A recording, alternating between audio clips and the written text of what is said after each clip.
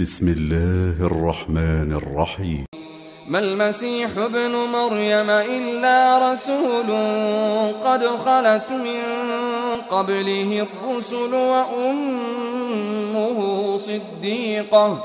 كانا يأكلان الطعام. كيف نبين لهم الآيات ثم انظر أنا يؤفكون قل أتعبدون من دون الله ما لا يملك لكم ضرا ولا نفعا والله هو السميع العليم